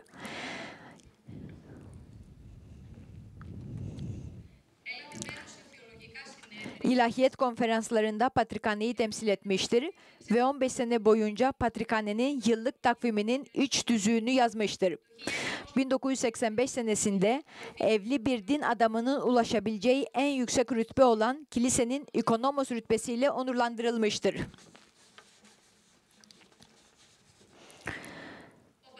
Dini kariyerinin paralelinde Peder Meletios İstanbul'un ve Anadolu Rumların ve onları temsil eden kurumların ve özellikle kiliselerin ve cemaat derneklerinin manevi üretimlerinin tarihçesine büyük önem ver, önem göstermiştir. Genç yaşından itibaren özellikle İstanbul'da basılmış olan eski kitapları, gazeteleri, posta kartlarının vesaire toplamaya kendini adadı. Böylece İstanbul'un Rum cemaatlerinin uzun dönem süren tarihi hakkındaki eser dokümanları korumaya başladı. Peder Meletios Akulidis, papazlık hayatının büyük bir kısmını İstanbul'un en eski semtlerinden biri olan Kumkapı'da, Yedikule'de, Samatya'da, Langa'da geçirmiştir. Bu semtlerde Zaten 16. yüzyılın ortalarından 20. yüzyıla kadar Türkçe konuşan Ortodokslar ve aynı zamanda Ermeniler yaşıyordu.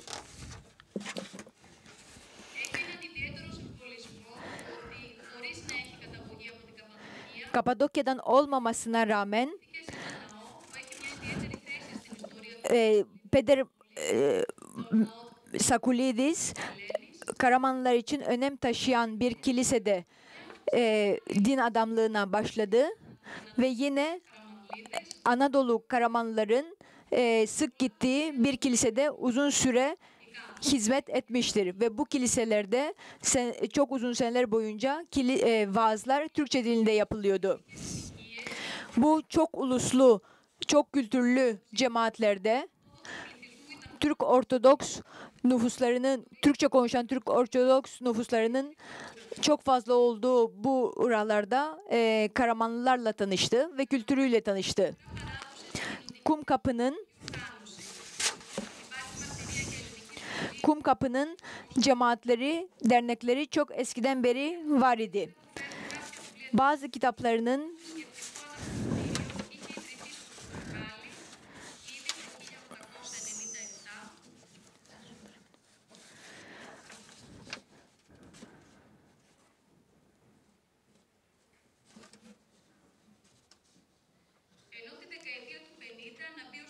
1950 senesinde yardımlaşma dernekleri tekrar canlanmıştır ve bunun haricinde yeni dernek eğitim amaçlı yeni dernekler kurulmuştur. Bu gelenekleri devam ettirmek üzere Peder Sakulidis e, koleksiyonunu saklıyordu ve araştırmacılarla paylaşıyordu.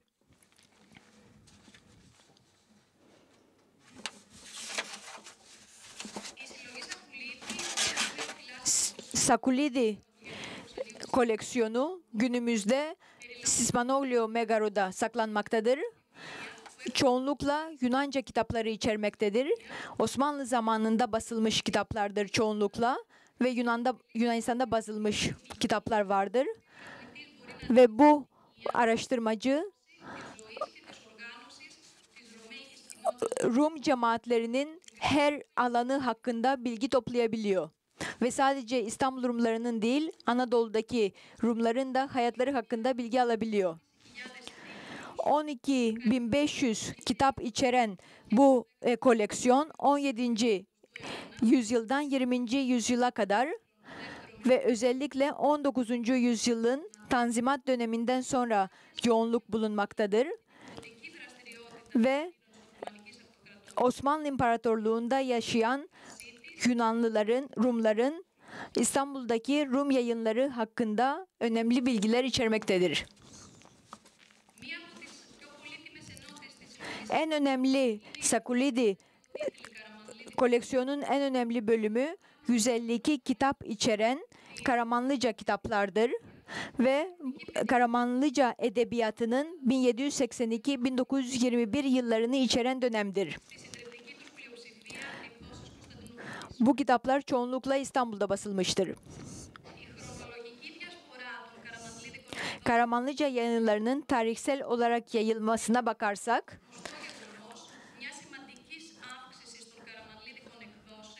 Karamanlıca yayınlarının çoğalması 19. yüzyılın ve özellikle 19. yüzyılın son çeyreğinde çoğaldığını görüyoruz.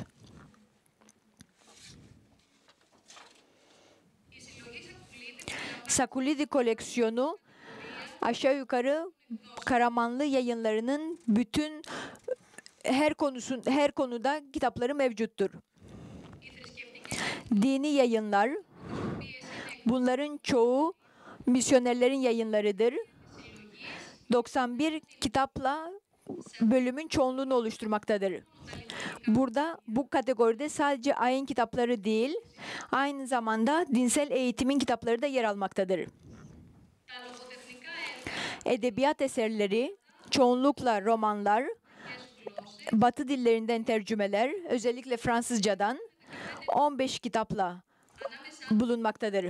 Bunların arasında bilinen yazarlar Monte Cristo, Robinson Crusoe, ve aynı zamanda o zamanlarda bilinen ve günümüzde fazla bilinmeyen e, Etmekçi Hatun, Tüccar Kızlar gibi yazarlarda mevcuttur.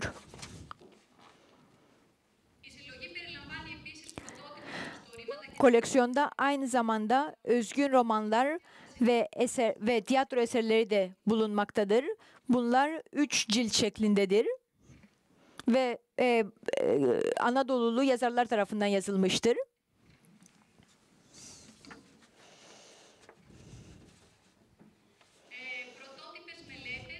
özgün bilimsel araştırmalar, yine e, kahramanlı yazarlar tarafından yazılmış eserler. Bu çalışmalar hukuki olabiliyor, monografi şeklinde olabiliyor, manastır hikayeleri hakkında olabiliyor. Diğer bir kategori ise halk hikayeleri ya da Halk Bulvar Gazetesi olarak da bilinen eserlerdir ki bunlara örnek olarak Aşık Garip, Şah İsmail, Nasreddin Hoca hikayelerini verebiliriz.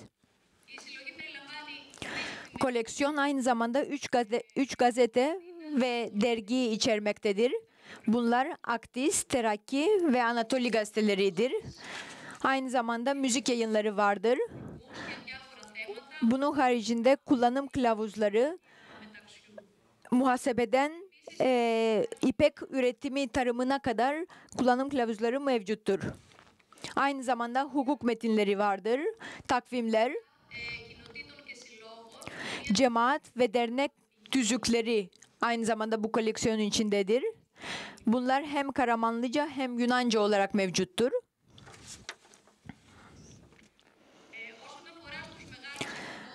Basın evleri bu koleksiyonun basın evlerine değinmek gerekirse misyoner yayınlarının 46 kitapla yer aldığını görebiliyoruz. Bunlar gerek İngiliz kitap kutsal kitap şirketinin yayınlarıdır. Ee, Evangelinos Misailidis'in e, katılımı 39 kitapla yer almaktadır. Ancak bunun haricinde bir de Pa- Patrikhane'nin 9 kitabı mevcuttur.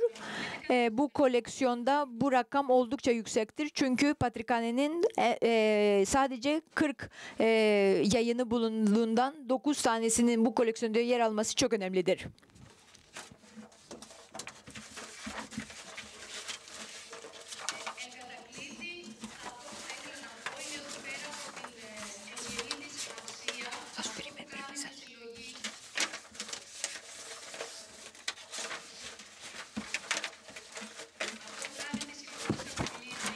Sonuç olarak e, Sakulidi koleksiyonunu e, değerli kılan en önemli faktör bu koleksiyonun bütün araştırmacılara ve de e, ilgililere açık olmasıdır.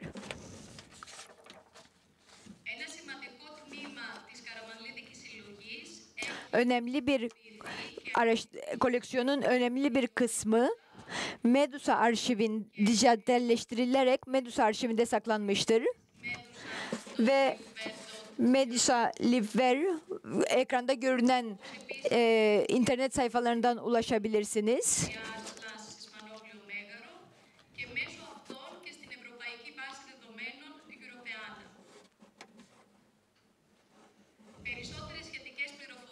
Daha fazla bilgi almak için size dağıtılmış olan broşüre de bakabilirsiniz.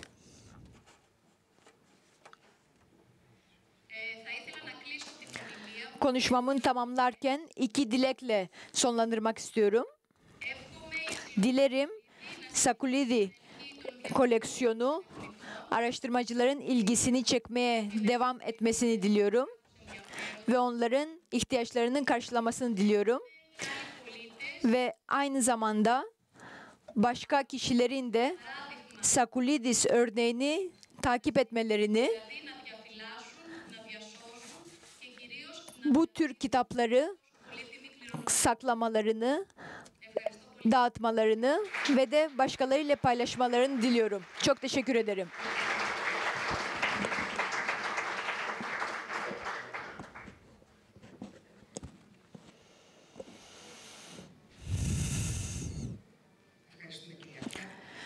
Bayan Ahladi çok teşekkür ediyoruz. Yaklaşık 20 dakikamız var. Ee, kısa soru dilerim mümkün olduğunca kısa sorular alalım.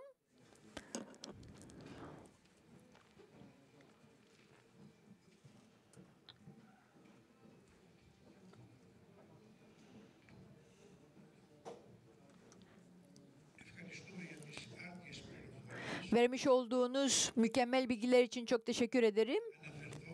Ben iki noktaya değinmek istiyorum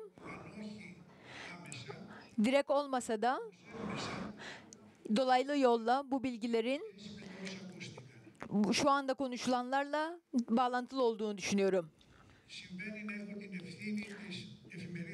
Apoyevmatini gazetesinin sorumluluğunu devam ettiriyorum.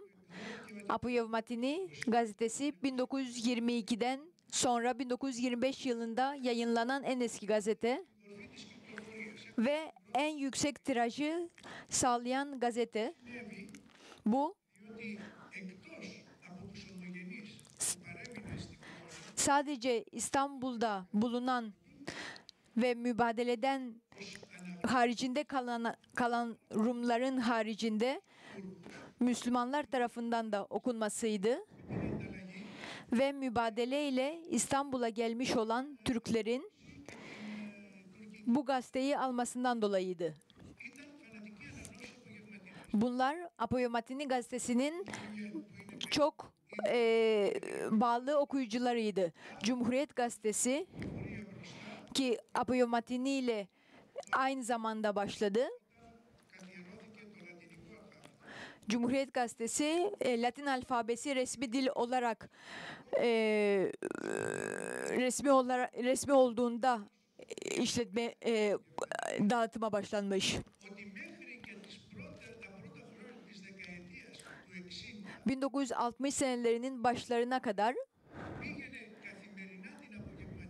Apoyamatini gazetesi her gün Nişantaşı'nda bir bakkala bırakılıyormuş. Ve bu bakkal dükkanı bir Türkiye aitti. Ve belki de o Türkçe konuşan e, e, e, son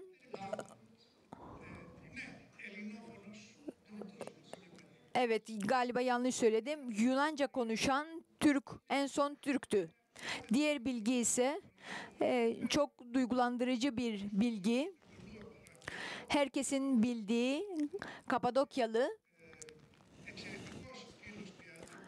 çok değerli insan Stelios Roidis'in bana verdiği bilgidir. Pire 1940 senelerinde Almanlar tarafından bombalandığında bir aile vardı. Göçmen bir aile. Bu ailenin anneannesi e, Türkçe konuşan bir kadındı. Torunlar da anneanneden bir sürü Türkçe kelimeler biliyordu.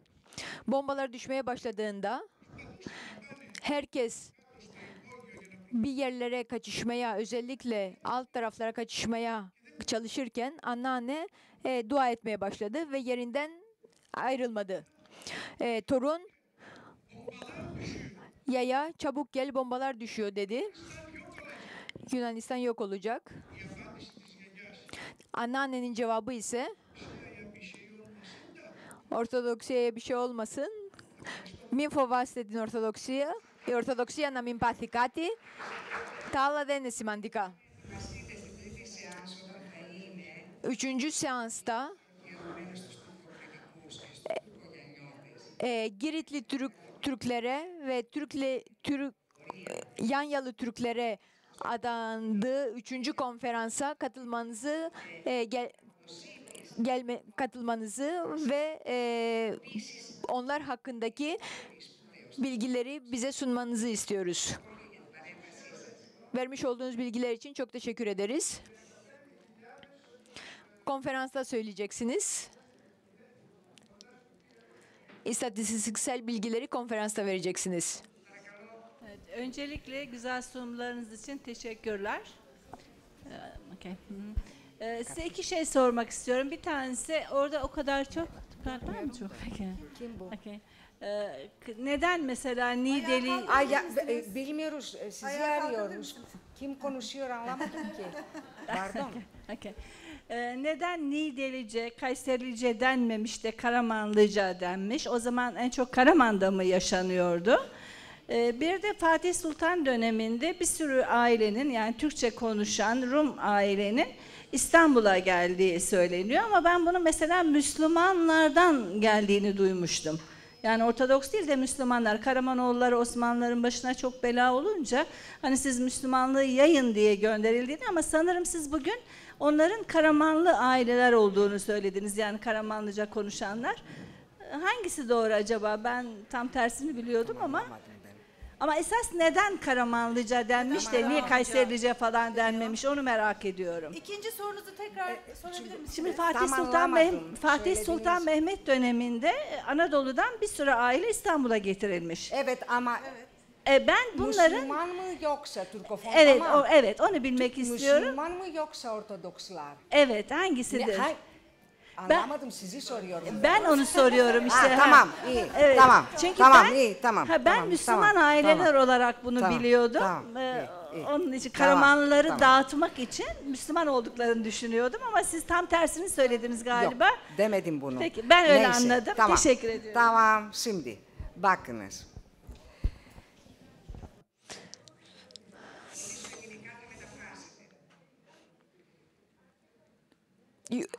Yunanca söyleyeceğim, tercümesi yapılacaktır. 19. yılın ortasından itibaren büyük bir göç, büyük cemaatlerden, Kapadokya'nın büyük şehirlerinden kentsel şehirlere doğru büyük bir göç meydana gelmiştir. Sadece İstanbul'a değil, İzmir'e, Bursa'ya, Trabzon'a da göçler olmuştur. Ortodoks Hristiyanlar gelmektedir ve daha iyi yaşam şartları aramaktadır. Daha önceden gelmiş olan hemşerilerinin yanına gelmektedir. Zaten var olan cemaatin yanına gelerek daha büyük bir cemaat oluşturuyorlar. Aynı senelerde ama benzer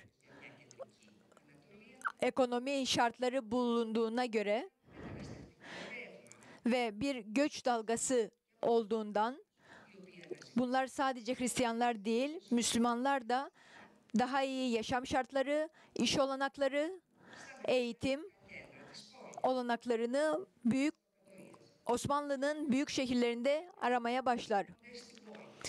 Normaldir ki büyük bir kısım İstanbul'a gelmektedir. Bu akım sadece Hristiyanlar için değil, Müslümanlar için de geçerlidir. Sorunuza cevap verebildim mi bilemiyorum.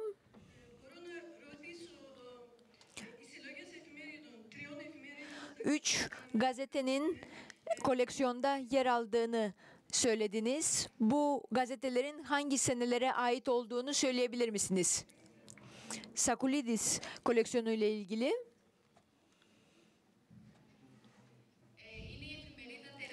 Teraki gazetesi 1898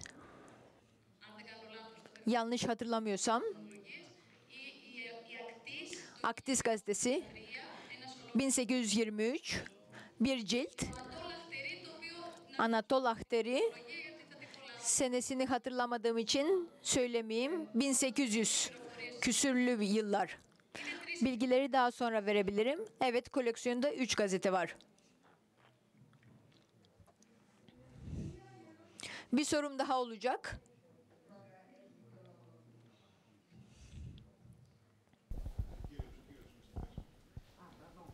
Ben ben çok teşekkür etmek isterim hem Yunan konsolosluğuna hem de sizlere.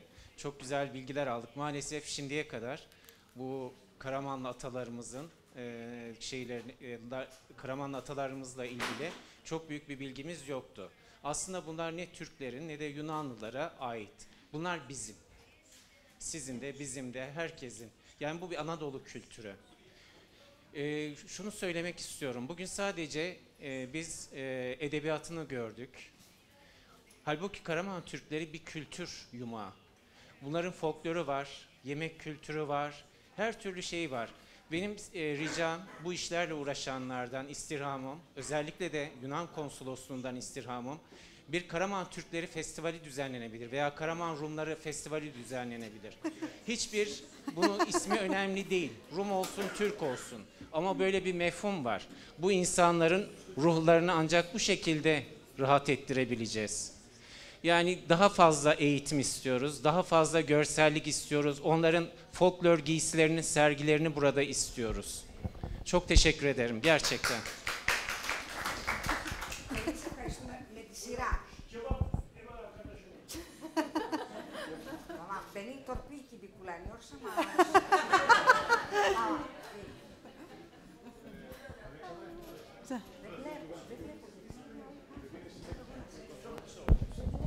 Ee, benim arkadaşım şey cevabım arkadaşı olacak.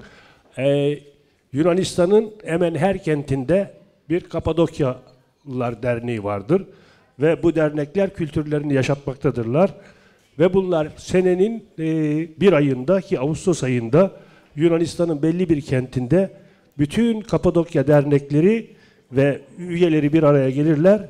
Kavuşma onların diliyle kavuştima adıyla buluşurlar. Orada folklorik e, danslarını, şarkılarını söylerler. Bu yıl 16.sı yapıldı. Seneye 17.si olacak. Teşekkür ederim. Efendim bize gelin biz size bütün bilgileri verelim. Teşekkür ederiz.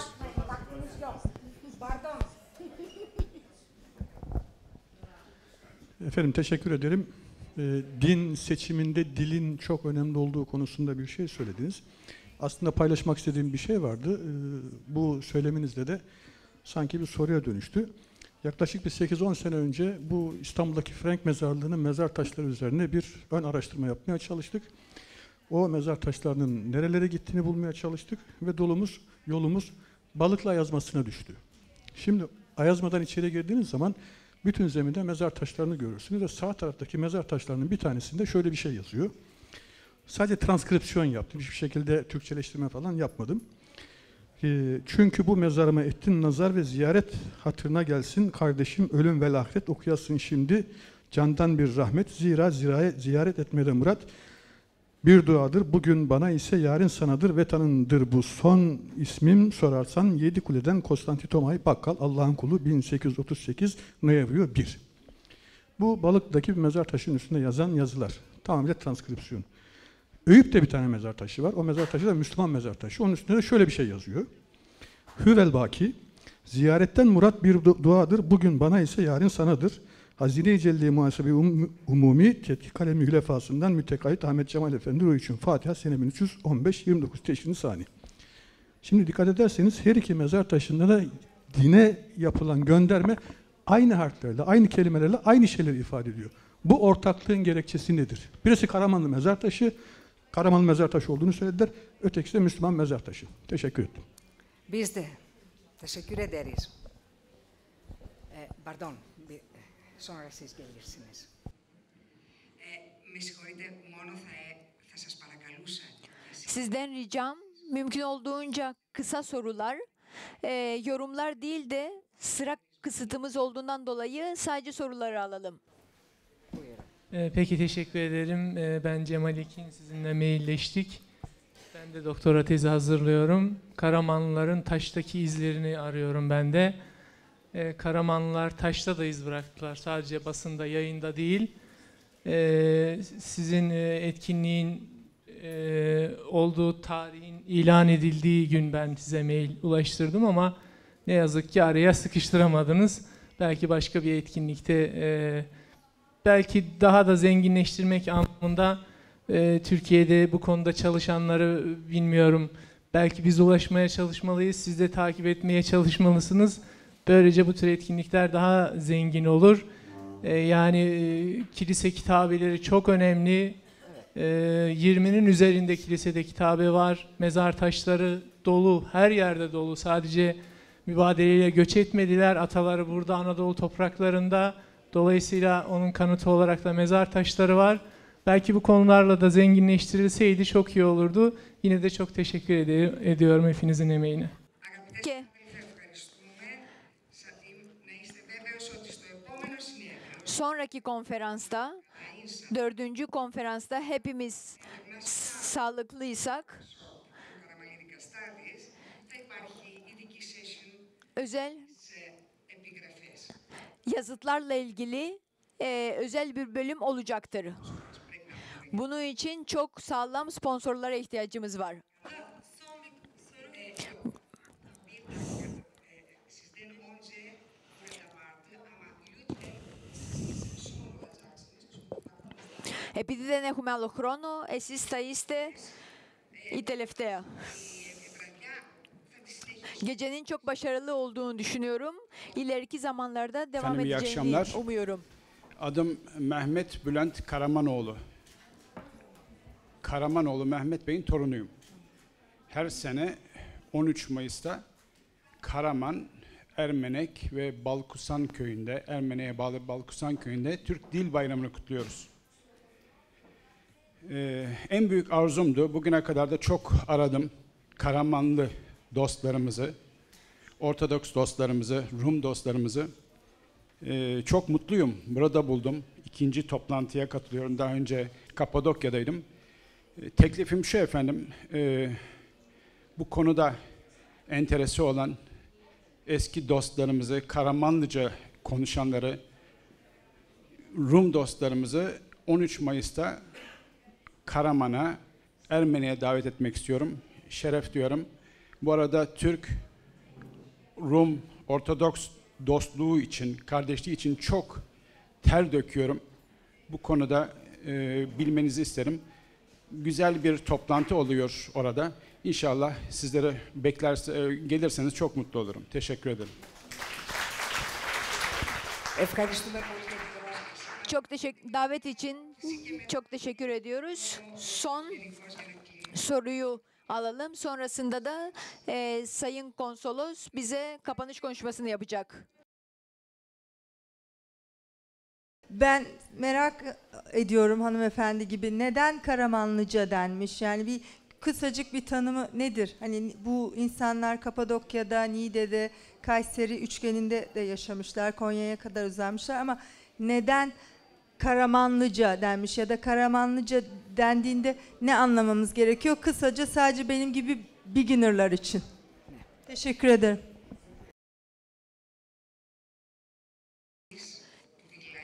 Karamanlı bölgesinin e, bölgesinde yaşayanlar olduğundan dolayı Karamanoğulları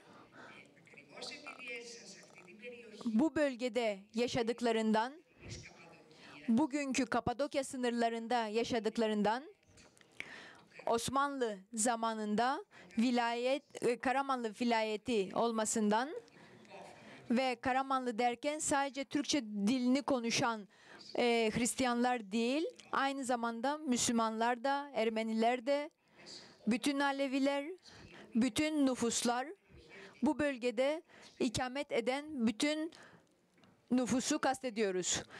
Sayın Konsolos, söz sizin.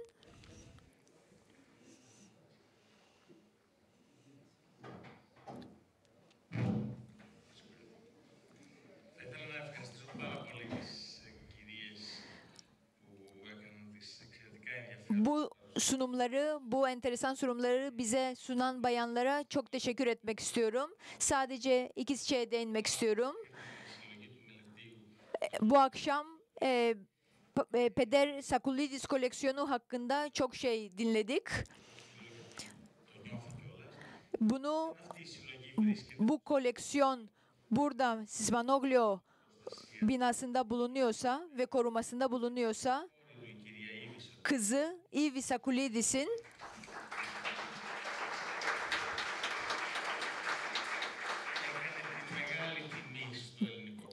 Yunan devletine bu bağışta bulunmasından dolayıdır. Ve daha detaylı araştırma için bize bu binayı e, bağışlamıştır. Yunanistan'da Karamanlılar çok değerlidir. Şimdiye kadar e, Karamanlı soyadını taşıyan iki başbakanımız olmuştur. Kimin fikriydi bilmiyorum. Bu araştırmanın genişletilmesi için e, sadece edebiyat konusunda değil, bazılarınız yemek konusuna da değinmemizi söyledi.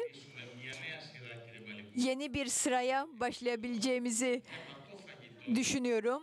Yemek konusunda Karamanlı yemeklerini, Seva, Sefaret mutfağını ve Girit mutfağını da ekleyebiliriz. Ki bütün bu mutfaklar e, çok önemlidir ve e, bu mutfaklar rakı tarafından eşlik edildiği için aynı zamanda çok değerlidir. Bir sonraki konferansımızda hepinizi bekliyor olacağız. Çok teşekkür ederiz. Katıldığınız için çok teşekkürler. İyi akşamlar. Sonraki konferanslarımızda da sizi aramızda görmekten mutluluk duyacağız.